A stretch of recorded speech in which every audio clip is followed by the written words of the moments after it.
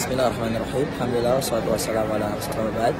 Teman-teman yang dimuliakan Allah, saya berada di depan Ka'bah dan saya insya Allah uh, ingin mendoakan teman-teman yang ingin menitipkan doanya.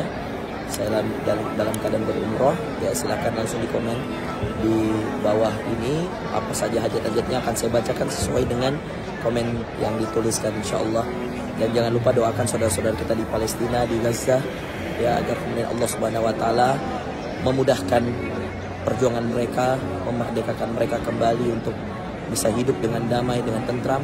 Dan semoga Allah Subhanahu Wa Taala menjaga mereka, menjaga anak-anak bayi di antara mereka, wanita-wanita di antara mereka, memudahkan para pejuang-pejuang Allah di sana untuk memerdekakan kembali tanahnya dan mudah-mudahan Allah Subhanahu Wa Taala menjadikan kita semua hamba-hamba Allah yang ikhlas untuk berjuang bersama saudara-saudara kita di Palestina. Barakallahu fikum teman-teman yang dimiliki Allah. Semangat dalam doa, semangat kita dalam ibadah akan kemudian kita persembahkan juga untuk saudara-saudara kita di Palestina. Malulah kita kalau kemudian Allah menitipkan banyak nikmat untuk kita lalu kita gunakan untuk maksiat. Nauzubillah min dzalik, maka gunakan segala semua yang Allah titipkan kepada kita untuk kebaikan. Barakallahu fikum. Jazakumullah khairan. Barakallah. Assalamualaikum warahmatullahi